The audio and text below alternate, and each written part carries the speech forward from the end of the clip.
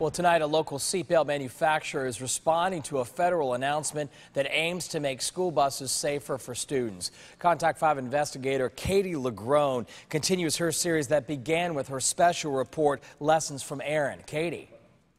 That's right, Jay. Less than 24 hours after we showed you why most local school buses are not equipped with both lap and shoulder belts, a Jupiter-based manufacturer invited us inside their warehouse where they are already seeing the impact of a federal push for three-point belts.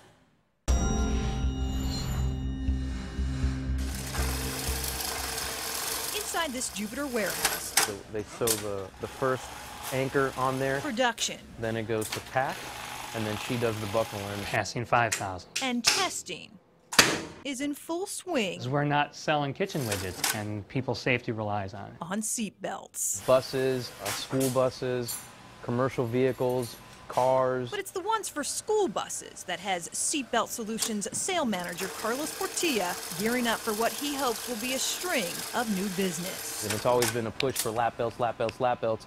Now all of a sudden it's a you know a three-point belt. Last month, the National Highway Traffic Safety Administration publicly endorsed lap and shoulder belts be equipped on school buses across the country. Crashes like the one in 2012 that killed nine-year-old St. Lucie County student Aaron Beauchamp helped inspire the push. This simulation video explains why. They're seeing you know after these accidents when kids are moving around and flying out of the seat that now it's important to keep them into the seat. Three-point belted school buses can run a district at least $8,000 more than lap-equipped buses. Palm Beach and St. Lucie County schools are local districts already phasing them in. If we continue with this some years from now, all of our fleet will have the three-point belts. Portilla expects the government will eventually make three-point belted school buses law.